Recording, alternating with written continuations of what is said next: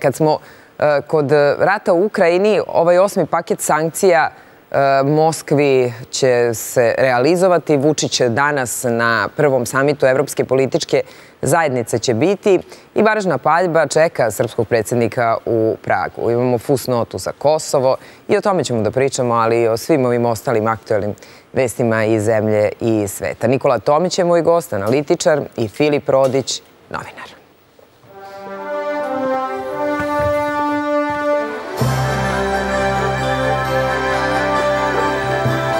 Jutro, dobrodošli. Dobro jutro. Dobro jutro.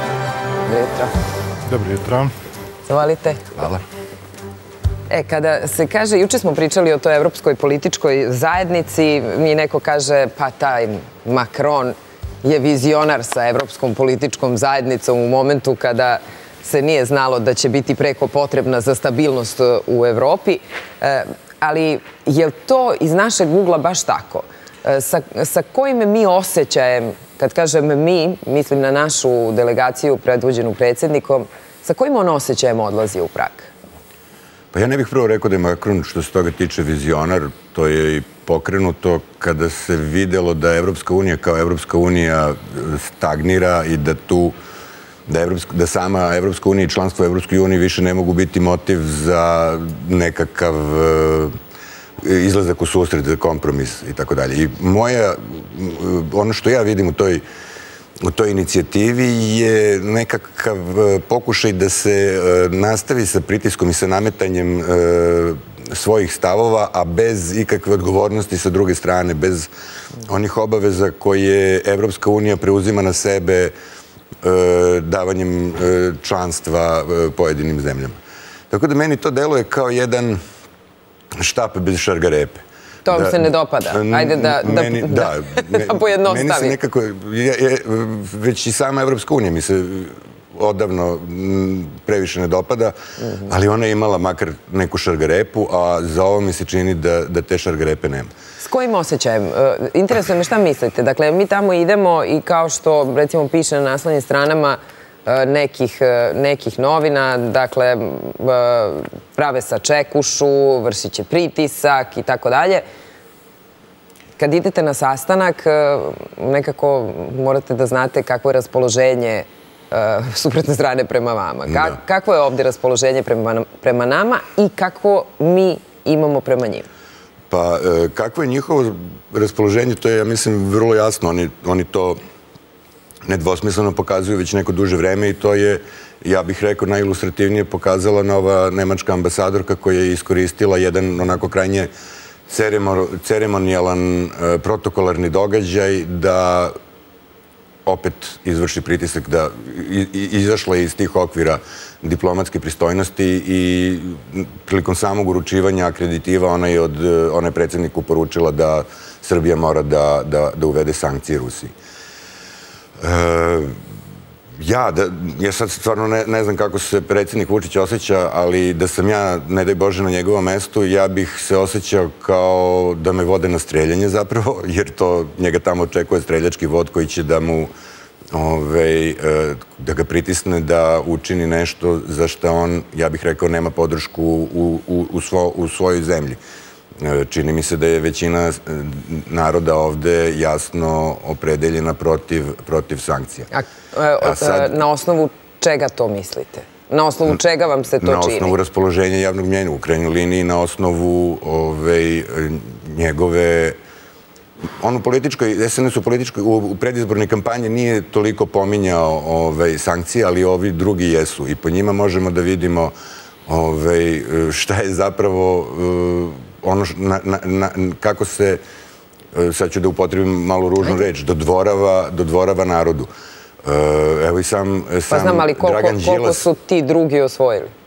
E pa to, to, to pokazuje da... Ove, da to nije većinski, ako pričamo o desnici koja je bila... Ne, ne, ne, ne, ja pričam, desnica je zadržala svoj stav konstantno. I Dobro. desnica je... Svi I oni nisu većina danas, nisu većina, ali su ostvarili ozbiljan proboj na, na izborima, to su svi govorili. Moj mhm. stav nije bio baš takav, ja mislim da je desnica u, u Srbiji ukorenjena ozbiljno i da da tu nema baš nekih prevelikih premeštanja, ali vidimo po ovome što je govorila ova takozvana prozapadna opozicija, I imamo sada Dragana Đilasa koji po povratku iz Vašingtona kaže kako oni eto već šest meseci govore da treba da se uvedu sankcije.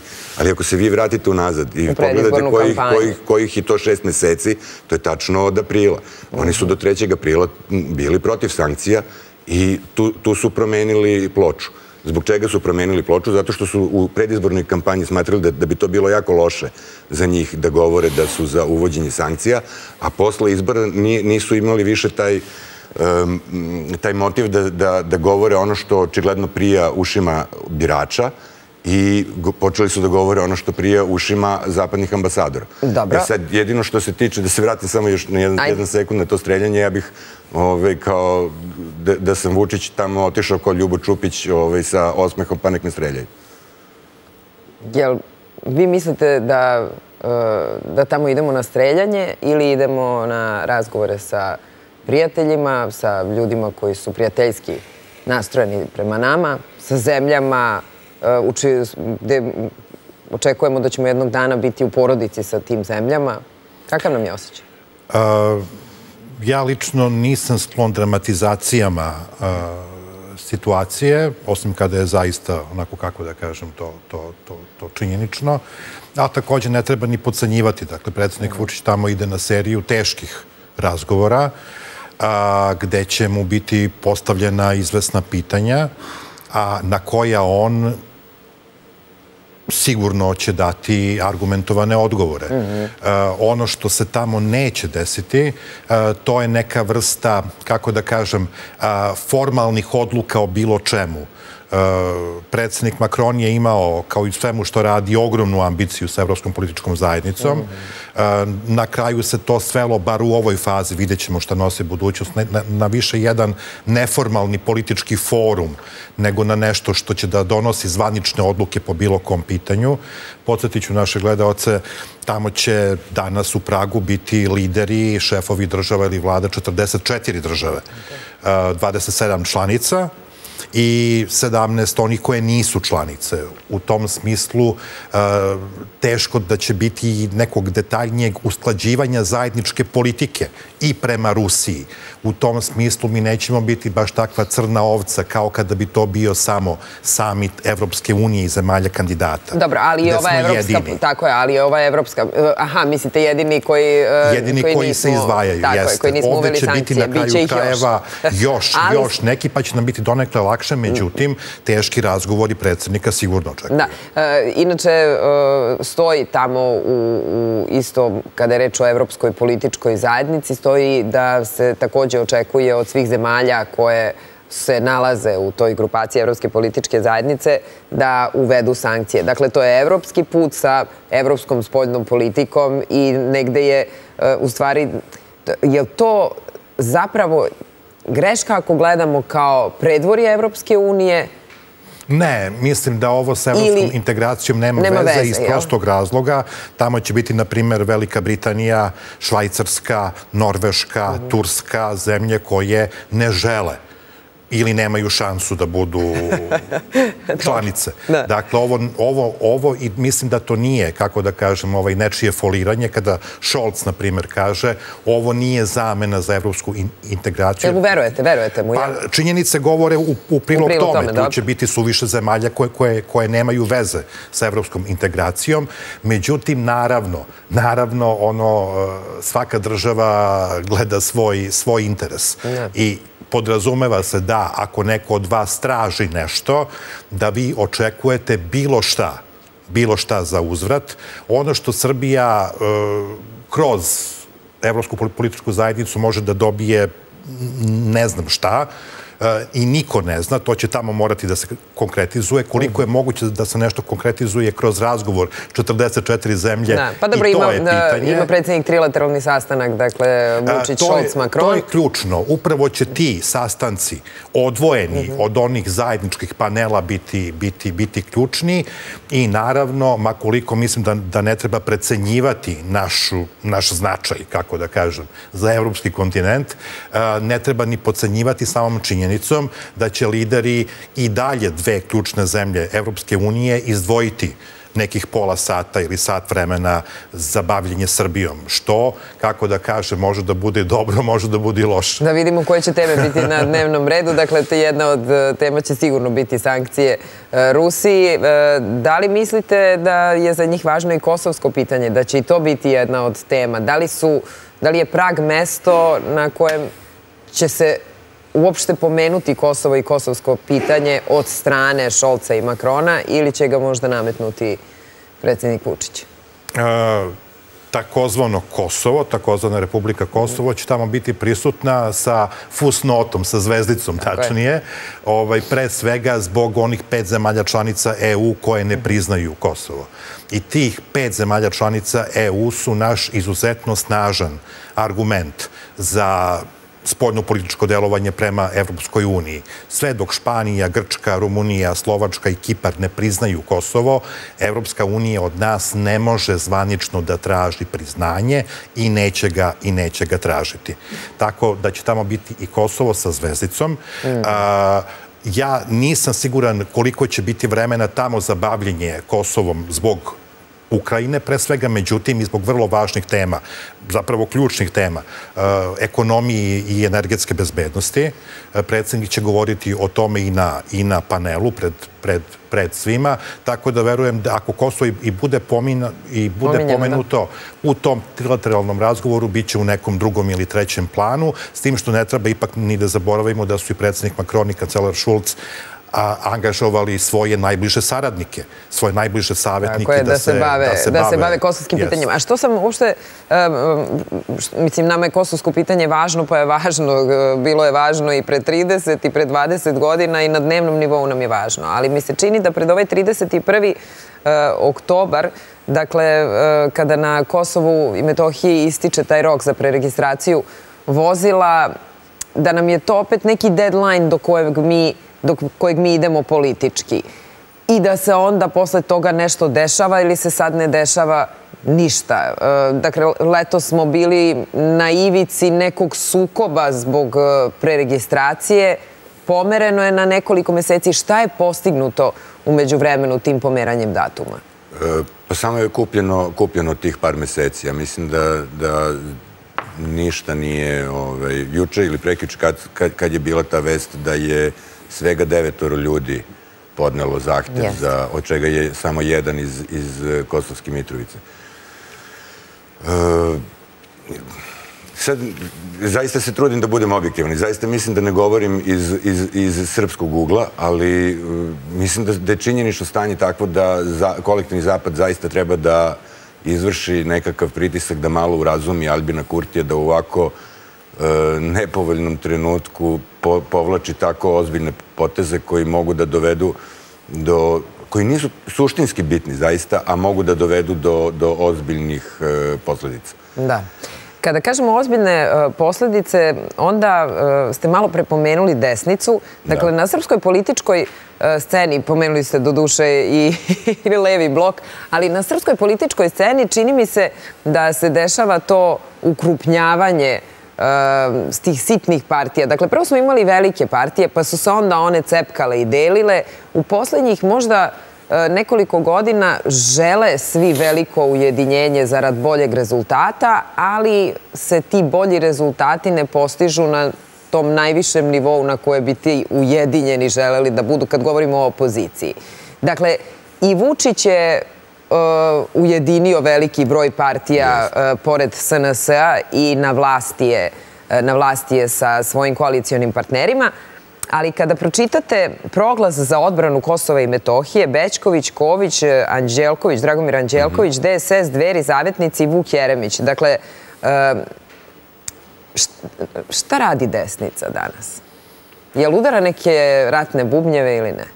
Ne bih rekao da udara ratne bubnjeve. Ovaj, ne znam na što vi konkretno mislite kada. Pa dobro, videli ste, dakle, e, ta deklaracija o reintegraciji Kosova e, i Metohije, dakle, ustavno-pravni poredak Srbije. Pa ja ne bih rekao da je to ratno huškanje, da je to udaranje ratnih bubnjeva. To je, ja mislim, nešto normalno, to je u krajnjoj liniji u skladu sa našim ustavom. Pa čemu onda drugačije. insistiranje? E, insistiranje je zbog toga što e, Vu- Vu- Vučić trpi dve vrste kritike od kako je na vlasti. Jednu sa levice i drugu sa desnice. A, ta kritika sa desnice se zasniva na, uglavnom na tome da će Vučić izdati Kosovo. I to slušamo evo već 12 godina. Ne, 10 godina. 2012. su bili izbori. I to nikako da se desi. I e, sad, da li, mu, da li desnica misli da mu na taj način stavlja nekakvu nanogicu, pa da on zbog njihovog pritiska i zbog njihovih proglasa ne može da, da povuče takav potez, ili prosto misli da sebi, pošto je to, kao što ste i sami rekli, za nas jedna vrlo važna tema, da sebi na taj način kupuje nekakv, nekakav e, i kredibilitet i ugled kod, kod birača, najverovatnije je i jedno i drugo, da oni prosto ovaj, e, žele tim putem da idu. Ali ukrupnjavanje meni nije tu, ja mislim da je to čak pozitivna stvar. Da, Da je nije dobra uopšte- stvar, da, jel? Za, uopšte jer- za srpsku političku E, scenu. Mislim da je za svaku političku scenu e, ukrupnja- ukrupnjavanje, pre, pretjerano rasipanje ovaj, loše. Da, mi pre, imamo previše stranaka. Ako, se, ako pogledamo ovaj, države sa dužom demokratskom tradicijom, tamo se u, u, ističe po nekoliko, nekoliko partija koje su, koje su bitni igrači. E, to se može menjati. Nekad su, na primjer, u Francuskoj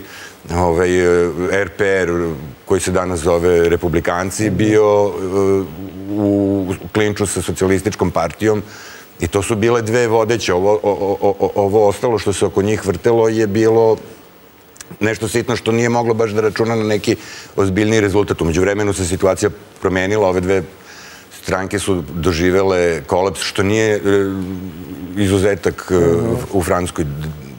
Veći je broj zemalja, uključujući čak i Nemačku, tamo su na izborima isto ove dve tradicionalno jake partije u posljednjih e, nekoliko ciklusa lošije prolazile nego ranije. Dobro, ali zašto sam vas sve to pitala? Dakle, zato što, kako vam, da li vam ovi ljudi, da li sad ponovo pričam kao kad smo imali, e, kako se beše sad zvao onaj savez e, koji su činili Boško Obradović, Vuk Jeremić i Đilas?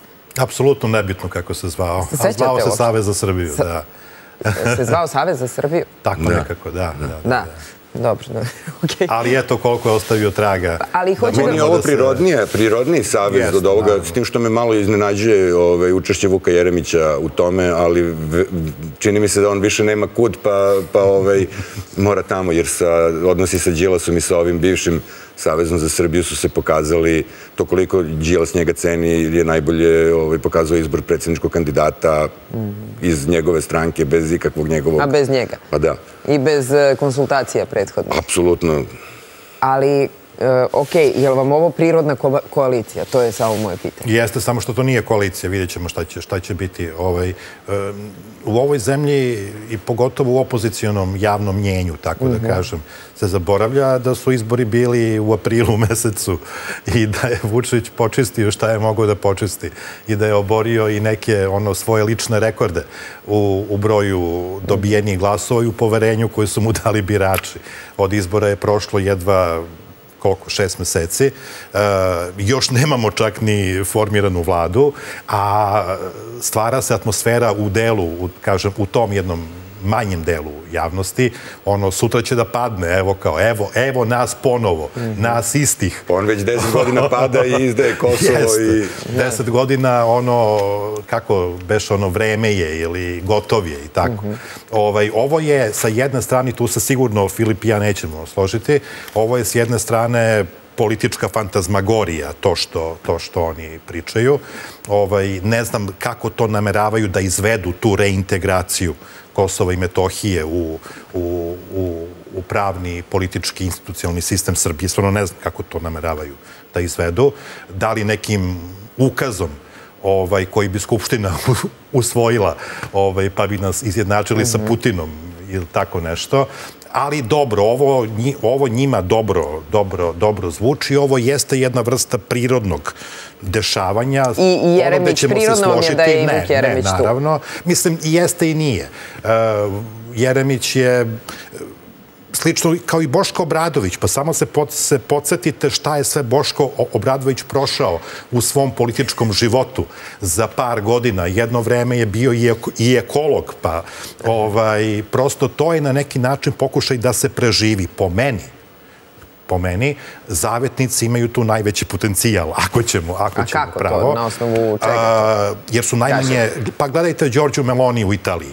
Dakle, uh, Milica Đurđević, ako bude radila na sebi, ako, ako bude bila vredna i pametna, uh, i ako se bude transformisala i, i evoluirala, a pokazuje potencijal za to, može da bude za 5 do 10 godina potencijal, eto, Đorđe Meloni u, u Italiji, dok su i Vuk Jeremić i Boško Obradović, ako niko od njih nije star, tako da kažem, jesu potrošeni. I ovo jesu njihovi pokušaji da politički prežive. Kako je Boško Obradović e, potrošen? Pa gledajte mu izborne rezultate koje je osvajao celog, celog života.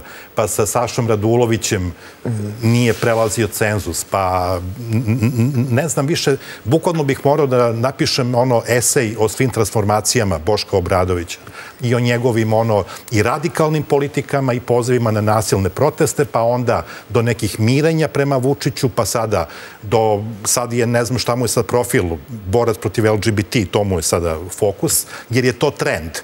To su prosto, ajde da ne budem suviše grub, to nisu političari, to su politikanti ovaj, koji samo gledaju šta je u tom trenutku hajp, da se tako izrazim, ili oni misle da je to hajp u njihovoj ciljnoj grupi, pa onda idu za tim ko su tu naj, naj, najozbiljniji ljudi. Profesor Ković je tu najozbiljniji čovek. Ovaj, šta god ja mislio ideološki o njemu, on jest ozbiljan čovek, naravno. I kažem zavetnici. I oni mogu biti na neki način jezgro. Da, ali kad kažete što, zavetnici, što o tome se pričalo i tokom kampanje. Da li mislite na zavetnike ili baš mislite na Milicu Đurđević-Stamenkovski? Zato što nisam sigurna da biste znali još nekog člana zavetnika da kažete. Ja sam ovaj, i bit ću potpuno, potpuno ovaj, direktan, ja sam za uvođenje stepenastog cenzusa i za povećanje cenzusa. Dakle, 5% za pojedinačan izlazak na izbore, a onda koalicije sa dva člana 7%, sa tri člana 9%, pa dokle stignemo. I da se to jednom raščisti i da stabilizujemo političku scenu koliko je to moguće i takođe ono što ovaj, ljudi iz stranaka bi mi mnogo zamerili i takođe da se poveća broj potpisa za kandidature za predsjednika Republike. Na koliko? I da, uh, pa bar na 50.000. Sigurno na 50.000. Da to ne bude prilika za, za egzibicioniste, ovaj, već, da to, već da to bude jedna ozbiljna, ozbiljna politička borba. I prosto mislim sa ta dva koraka, povećanje cenzusa, stepenasti cenzus plus povećanje broja potpisa za izlazak na izbore, bi se politička scena koliko toliko stabilizovala, pa bismo imali dva stuba i nekoliko manjih stranaka koje bi tu učestvovale. Da, evo, ponovo pričamo o stvarima koje se tiču izbora. ja bih se potpuno složio s ovim posljednjim delom ovaj, e, Nikolinog izlaganja i to je ono o čemu smo i mi malo pre pričali, da treba da postoji manji broj e, većih stranaka. Da. E, jedino sa čim se ne bih zaista složio, a mislim da je i Nikola to malo, da, da ni on sam ne misli baš to što je rekao, da je ovaj... Da, Šta misli u stvari, na koju Pa nadam se da, da, da, da, da, da, da se možda malo pogrešno izrazio. Da je vraćanje Kosova i Metohije pod da je mirna reintegracija Kosova i Metohije jedna fantazmagorija, jer je kako? to... Dakle, moje pitanje je vrlo jednostavno kako. Znači, treba, ako, ako je to fantazmagorija, onda treba da priznamo E, koje je drugo rešenje? A, politika se ne vodi proglasima, ne vodi se deklaracijama. Mi imamo realno stanje na terenu i borimo se da iz toga izvučemo najviše što možemo. I da to stanje promenimo. A, a, do, a da se donese deklaracija, pa to je najlakše. Ja mogu da napišem šta god da, želim. Ali, ovaj, a to neće da, neće da, vi, da, govorite da promeni stanje forme, na terenu. ne o suštini. Su, e, to što su oni doneli deklaraciju je njihov način, možda to nije baš naj svrsishodniji u ovom trenutku, ali to je njihov način da saopšte ono što oni misle. A to što oni misle u vezi sa Kosovom i Metohijom je isto ono što misli i predsjednik Vučić i isto ono što misli, sad ćete me pitati odakle to znam, ali eto, recimo, ovaj 80% građana Srbije. E, nije fantazmagorija e, vraćanje e, Kosova i Metohije pod, e, e, u integritet e, Srbije, nego je to nešto što je sasvim realno. Vidimo to i po, po samoj činjenici da e, određene države povlače priznanje e, tog, e, te tvorevine. A, to je ono na čemu Srbija, radi od 2008. Srbija formalno pravno ne sme da se odriče Kosova. Ne sme da ulazi u priznanje Kosova ne sme, i ja sam tu, tu na primjer, korigovo svoj stav, jer su u stvari vrlo komplikovane, ne sme da pusti Kosovo ni u UN. Srbija to ne sme da radi. Ali, sa druge strane, ne sme zbog svog ugleda, zbog svog obraza, ovaj, zbog neke budućnosti, ne baš tako skore, ali i zbog svojih građana koji to ne žele. Srbija na te poteze ne treba i ne želi da, da, da pristaje. Sa druge strane, ko misli da će zastava Republike Srbije da se viori u Prištini, Podujevu, u Roševcu, Prekazu, Đakovici, Gnjilanu, to je fantazija. Ali vi mislite da predsjednik ili laže ili da je neuračunljiv ako, ako se zalaže i bori se onoliko za to da Kosovo ne bude priznato, da ne bude Jedno, jedno nema veze sa drugim. Zastava Srbije u Prištini nema veze sa našom borbom da Kosovo ne bude u UN-u i da ga mi nećemo priznati. Zašto se onda mi borimo? Borimo se za obraz i za čast.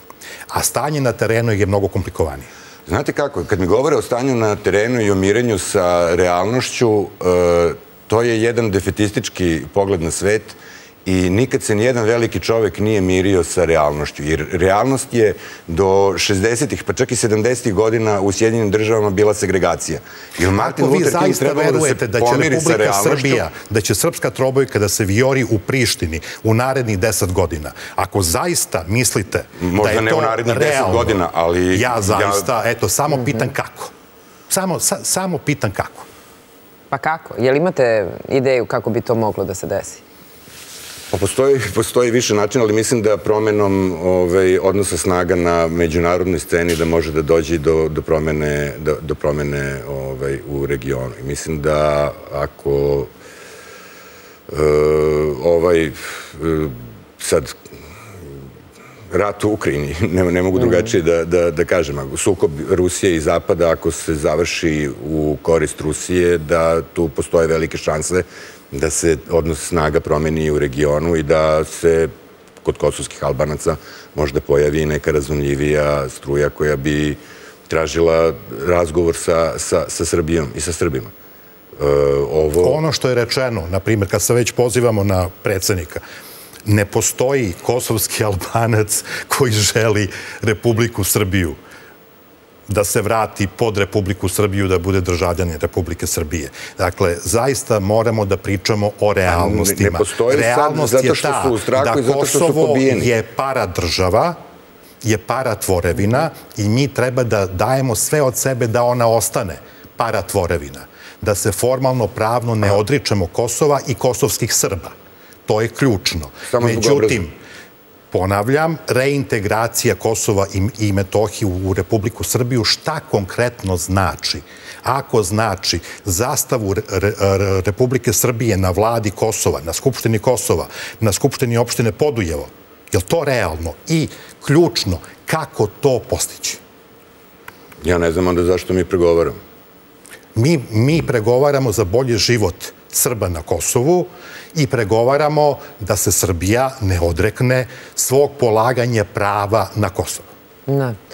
A šta vi u stvari šta vi mislite da mi pregovaramo? Sad, ste, sad ja mi čak ja delujete izbunjeno. Ja, ja mislim da mi tražimo kompromisno rešenje sa kosovskim Albancima gde će oni imati maksimalni nivo autonomije, ali će Kosovo ostati u okviru Srbije. I ja mislim da je to jedina politika koju su, makar deklarativno, sve naše vlasti vodile od 2008. A i, na koje smo, recimo, razumem, ali koje smo, recimo, ustupke mi e, spremni da napravimo u Srbiji ako bismo ako bismo živeli u takvoj državi gde je Kosovo pokrajina kao što je bilo, Kosovo i Metohija sa, uh, sa autonomijom svojom, jel? Da. Uh, najširom mogućom. Najširom mogućom. Jel bismo mi mogli ovde, mislim to svaki put pitam, da podnesemo recimo da nam je Albin Kurti, da nam je podpredsjednik vlade. Naravno, pa on bi bio građanin Srbije i kao takav imao svako pravo ako dobije na izborima da bude podpredsjednik vlade. Zašto da ne? U čemu je tu problem? Predsjednik Vučić sa Kurtijem ne pregovara o statusu. Briselski dijalog se ne tiče statusa. Samo da se vratimo na to, ne tiče se statusa, tiče se rešavanja pitanja do normalizacije odnosa bez ulaženja u status. Znači da nama, Nikola, pitanje statusa uopšte nije stvar diskusije, je li tako? Nije. Znači da je Kosovo Srbija. Za nas je Kosovo formalno pravno Srbija. Onda to nije fantazmogorija, onda je to, to je isto tako realnost i činjenično stanje kao i ovo da Jaljbin Kurti Kosovo je formalno pravno i treba da bude deo Republike Srbije, ali ponavljam, od svih onih koji misle da će srpska policija i vojska da bude na teritoriji Kosova i Metohije, što je sa saista odlazak, ovo je za mene kao da smo, kao da se bavimo nekim paralelnim dimenzijama. Ovaj, pa jesu li se naše vojnici vratili? Pa nisu, to ne znači da je ne znači da se neće vratiti i ne znači da nije trebalo da se vrate pre 15 godina. Ili koliko? To znači da je rezolucija 1244 prekršena. Mene zanima samo kako bi se ta puna reintegracija pokrajine Kosovo i Metohije u sistem Republike Srbije desila. Samo to pitam. Kako? Lepo imati najlepše želje. Moja želja je da Srbija sutra bude punopravna članica EU i da imamo prosečnu platu 5000 evra. To se neće desiti ni sutra, ni preko sutra, ni za Dobro, ali vas ne sprečava da želite. Ali me ne smetava, ali me ne sprečava da želim. Dobro, dajte... Ni mene ne sprečava da želim ovo i ja verujem u to da će se jednog dana kad tad... I da upravo s jednim delom ovog izlaganja se slažem. Ja mislim da zbog svog obraza Ne smemo da pristanemo na tako nešto, ali ne samo zbog svog obraza, nego da bi jednog dana to ovaj, moglo da se ostvari. Dobro, razumem, vi to vidite kao krajni cilj našeg rukovodstva i pa, naše državne politike. Pa dobro, upravo tako. Tako je. Sa ovim ću se i ja složiti. Za sto godina, za sto godina. Ali da Srbija sada ulazi sve vreme se priča o kompromisu, sve vreme se priča o uzdržavanju od jednostavnih koraka. Da Srbija sada ulazi, da ne znam, Narodna skupština usvoji odluku o punoj reintegraciji Kosova i Metohije, to nema praktičnu važnost nikakvu, osim što bismo sebe doveli u ozbiljan problem. Zatim nema ni potrebe, jer je to što se Skupštine Srbije tiče činjenično stanje. Pa šta od ova gospoda žele? Kosovo i Metohija su Oni žele da istaknu, kao što u Ustavu u preambuli piše da je Kosovo i Metohija sastavni i neodvojivi i kako e, već... I onda bih ja probao da podvučem crtu sa svoje strane, naravno. Ova gospoda žele da svoj izborni poraz u aprilu kompenzuju, da se vrate, da daju sebi relevantnost, mhm. tako što će da pričaju o lepim stvarima, a odgovore na pitanja kako nemaju, jer ih na kraju krajeva to i ne zanima. S ovim ja moram da se složim. E, dobro. E, tako sam nešto i rekao u početku da je jedan od dva motiva dizanje sobstvenog ratinga. E, a šta se desilo i šta se dešava uopšte u Republici Srpskoj? Sad kad smo e, se dotakli Kosova, da se dotaklemo i izbora, ali ne izbora kao izbora, rezultati manje više je sve jasno šta se tu desilo, ali šta je pokazala Šta je pokazao izborni rezultat u Republici Srpskoj? Da je većinsko stanovništvo okrenuto Rusiji ili da je većinsko stanovništvo okrenuto Srbiji ili, ajde, Americi ne, Evropi ne, zato što to njima nije velika tema bila, ali kakva je atmosfera danas e, u tom e, delu Bosne? Ja zaista ne znam mnogo o tome i ne znam uopšte o atmosferi. Ovaj, znam da jedan prijatelj moj iz Republike Srpske mi se u nedelju uveče javio, koji je inače oštar kritičar eh, Milorada Dodika. I šta je rekao? Uplašio se, kaže, ovo je katastrofa. Šta? Jer se uplaše da Dodik gubi na izborima, jer je ova Trivić bila... Proglasila pobedu. Znači imate tu jednog zaista ozbiljnog kritičara vlasti e, Milorada Dodika, lika i dela Milorada Dodika, mhm. koji se plaši njegovog poraza zato što u drugoj strani vidi još veću opasnost. E, e, na ovo vaše pitanje, kome je okrenut narod Republike Srpske, ja zaista se nadam da je okrenut Srbiji, a ne Rusiji mi možemo da vidimo, mi možemo da budemo, ja sam lično ovaj, vrlo eh, za saradnju sa Rusijom i za bliske odnose eh, sa Rusijom. A jeste li za to da se ide pred izbore po podršku Putina. Da. Jeste. Što da ne, da. Pa to je i predsjednik Vučić radio. Dobro. I dobio je podršku Vladimira Putina. Sjetite se kako ga je Vladimir Putin privukao u Zagrljaj. To nije bilo baš neposredno pred izbore. Kad je to bilo? U novembru? Pre Ukrajine svakako. Pre Ukrajine, da. Mhm. Tako da... I onda možete da stavite u ravan predsjednika Vučića u, recimo, pred kraj prošle godine e, i Dodika Dodika pre par nedelja kod Putina? Zašto ne bih? Da, mogu. I ja sam vrlo zadovoljen zbog uopšte Neki ljudi zameraju Dodiku što je, dok je Tadić bio na vlasti, bio blizak Tadiću, a sada kada je Vučić na vlasti je blizak Vučiću, ja mislim da je to apsolutno najnormalnije. A tu je, kako on kaže, još od Miloševića. Pa da, u krajnjoj liniji. Ja mislim da lider... Kao antiratni aktivista. Da lider Srba eh, iz regiona, da tako kažem, mora da bude, mora da bude blizak Beogradu, bez obzira na to ko je na vlasti, predsjednik Srbije, predsjednik Srbije. Dobro, a je li zapravo zaista blizak Beogradu? Jesu bliski Vučić i Dodik? Bili su, ako se tu nešto promenilo, ne znam, ja sam čuo neke e, priče o disonantnim tonovima između njih dvojice, ali nisam siguran koliko je to istina, koliko je pokušaj nekog e, zabijanja klijena između njih dvojice, ali ranije, do skora, su sigurno bili bliski i sarađivali na način na koji mislim da je jedino primereno za dvojicu... Evo, kaže, da, za dvojicu državnika, ajde tako da kažem. Za dvojicu srpskih lidera. Znate, još i Njegoš govori o tome da je Srbija matica i da svi Srbi treba da se okupe oko države Srbije, a Vučić je predsjednik države Srbije, prema tome tu nema govora.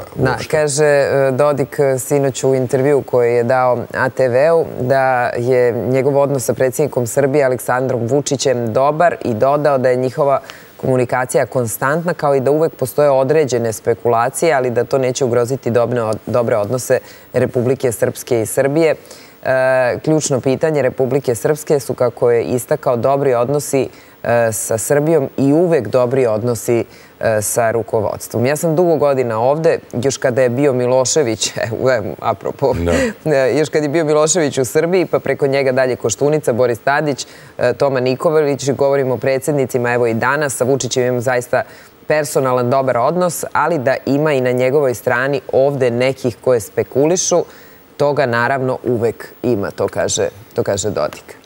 Pa jedan, verujem, sitni okidač za ovu priču je spekulacija oko ovog teksta koji se pojavio u jednom banjalučkom mhm. mediju i za kojeg navodno stoji medijski vrlo aktivan, u medijskom biznisu vrlo aktivan sin Milorada Dodika, koji se mhm. ogradio i rekao je da on nema veze s tim portalom, gde je predsjednik Vučić izuzetno žestoko napadan zbog navodne podrške gospođi Trivić.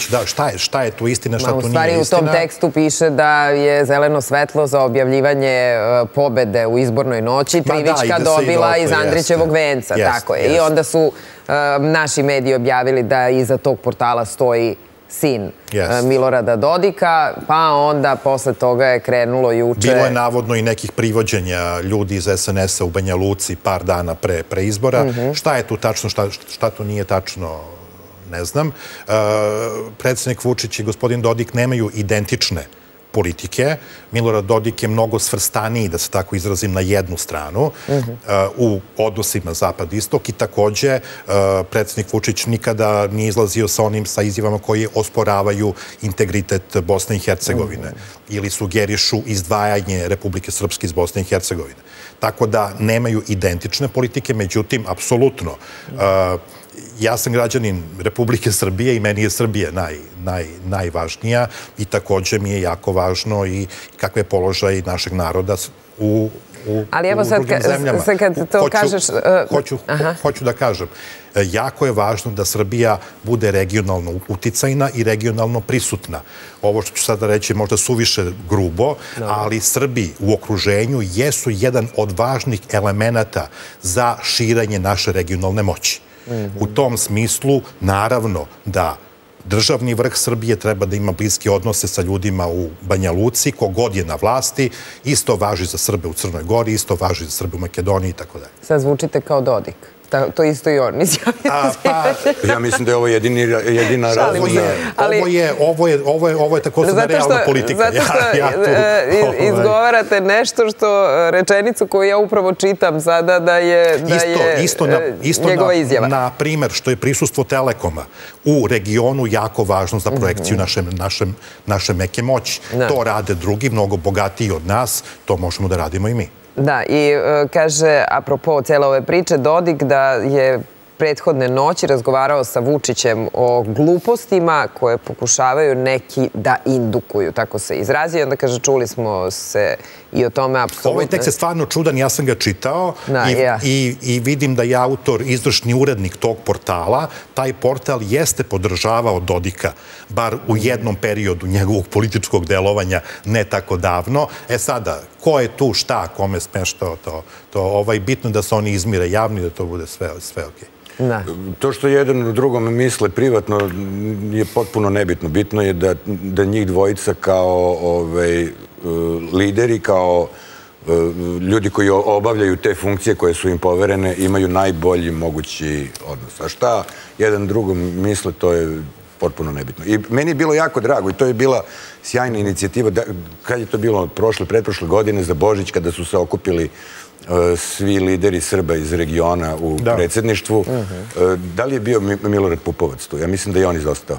E, ja se ne sećam da sam ga video. Ali to je ono što nam je potrebno i to je ono što treba zaista da se ostvari po svaku cenu. Kakvi god bili njihovi međusobni odnosi ili njihovi lični i personalni interesi, oni moraju, kada obavljaju javnu funkciju, da budu u najboljim mogućim odnosima i najbliži saradnji. Samo mi za kraj recite, e, nismo pomenuli, mislim da je ovo možda jedna od e, prvih jutara u prelistavanju štampe da se ne dotaknemo Ukrajine i Rusije kao teme, ali e, baš zato i želim da vas pitam na kraju, zato što svi sad pričamo, gde god da sednete, svi kažu, jao, situacija je teška, e, pogledajte šta se dešava u svetu, naši Naše državno rukovodstvo također nam skreće pažnju na jako težak period koji dolazi.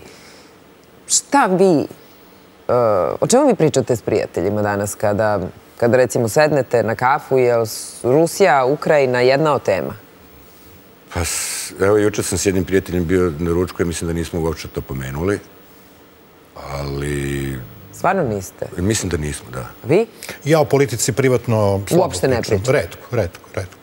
Kad je nešto posao, onda ne moraš baš da budeš i u privatnoj komunikaciji ovaj, time obsednut, ali ovaj, naravno, to je zašto, mislim, to je, mora da se vrlo pažljivo prati. Dobar znak je to, zato što dogod se to, taj strah nije prelio suštinski na na taj privatan nivo, nego je na nivou medija, visokih politika, onda možemo da verujemo da nam još uvek nije blizu ili ga barem ne osjećam. Vrlo je blizu. Jel imate strah?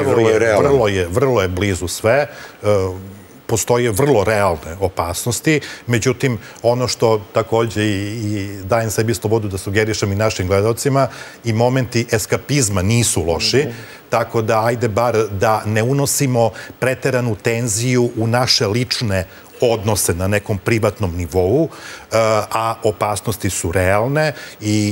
Čega se plašite danas? Eh, plašim. Eh, pa dobro, plašite. Brinem se. Dobro. Brinem se. Brinem se dugoročno uloge Evrope u svetu, njenog ekonomskog razvoja, njene ekonomske snage. Mhm. Gledam, vrlo pažljivo pratim dešavanja u Aziji, gledam kako tamo raste BDP, kako tamo ovaj, tehnološke kompanije ulažu, šta se dešava dakle, u nekim drugim delovima sveta. Bojim se da Evropa strukturno može da jako zaostaje u toj globalnoj utakvici. Jeste bojite rata na tlu Evrope? Rata na tlu Evrope jedino kroz upotrebu krstarećih raketa srednjeg i dugačkog dometa. Dakle, ne da će neko da upadne na teritoriju Evrope, da će da se pobiju Poljaci i Nemci. Toga neće biti.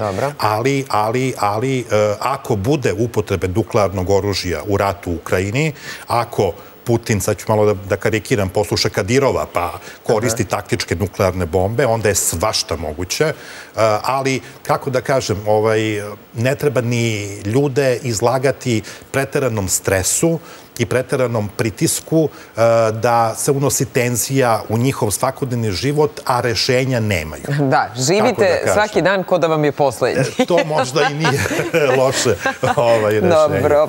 Mnogo vam hvala na, na gostovanju i hvala što smo malo analizirali ovu situaciju i šta nas to danas čeka kada je reč o politici.